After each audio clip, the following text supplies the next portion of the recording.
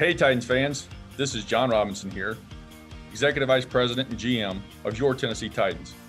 I hear you have a big race coming up, so the Titans are asking you to go out there and give it your all for the first ever Titans Virtual 5K presented by the Dairy Alliance.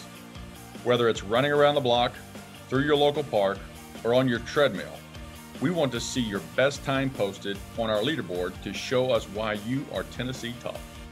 Don't forget to wear your favorite Titans gear and share photos using the hashtag Titans5K.